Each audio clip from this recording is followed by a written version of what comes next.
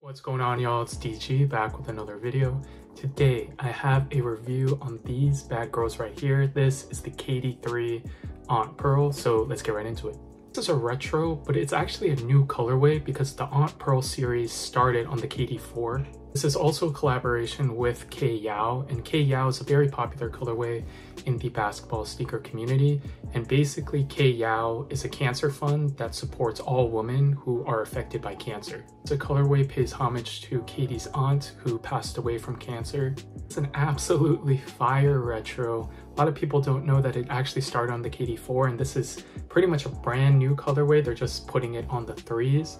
But Look at this colorway right here. It is absolutely nice. This shade of pink goes with so much more. It's not a hot pink at all.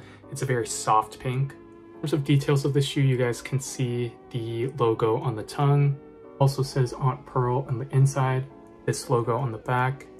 The material consists of synthetics and you have this fly wire right here, as well as the herringbone milky translucent outsole come with extra laces here that perfectly match the upper. The laces are actually a darker shade of pink right now. Then on the insole it has this. I did do a full performance review of the KD3 Retro on the All-Star colorway, so definitely go to my channel and watch that if you want an in-depth review on the performance. But as a crash course, this shoe is pretty solid performance-wise.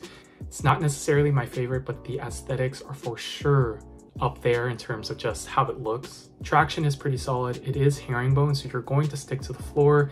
It is affected by dust just a little bit, but it's a very solid traction setup. I wouldn't say it's bad. I wouldn't say it's amazing.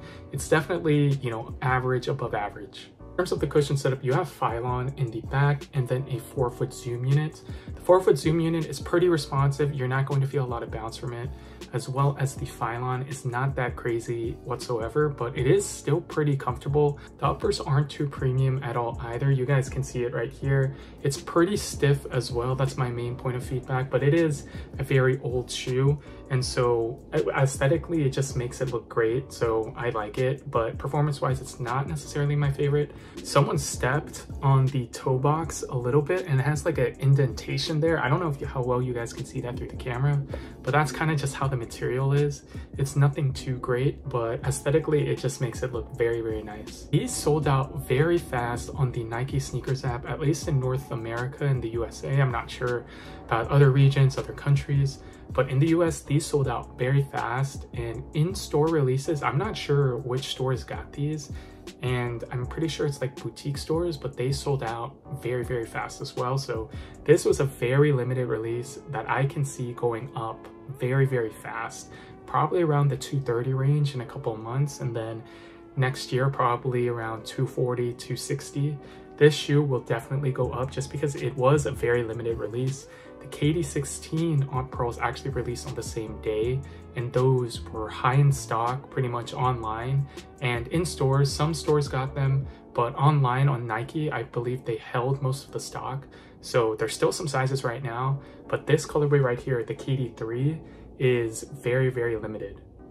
I would say if you do want to get this pair, then get them now because they're only going to go up. They're not going to go down because the stock was pretty low on this shoe. I haven't seen a KD sell out like this in a while. So if you're looking to get a pair, I would recommend getting them now or locally because I would recommend getting them now because they're only going to go up or just get them locally so you don't have to pay the fees and taxes online. I'm like 200, 210 right now, which is not that bad. So I would definitely just pick these up.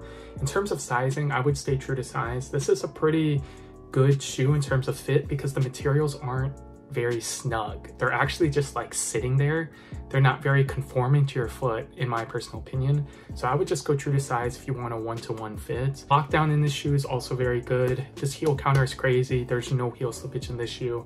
So let me know what you guys think of the KD3 Aunt Pearl Retro. These are very, very nice. Again, the KD4 started the Aunt Pearl, but they basically brought back the threes and then put the Aunt Pearl colorway on those. So it's basically a new colorway, very, very clean. A lot of people are liking these. So if you struck out on the SNKRS app on Nike, at least in the US, then make sure to get them now because I can only see these going up. They're not going to be too crazy, but I can definitely see in a couple years these are going to hit like 250, 300. Make sure to subscribe and like this video, especially if you made it this far, and I will catch you guys in the next one. Peace.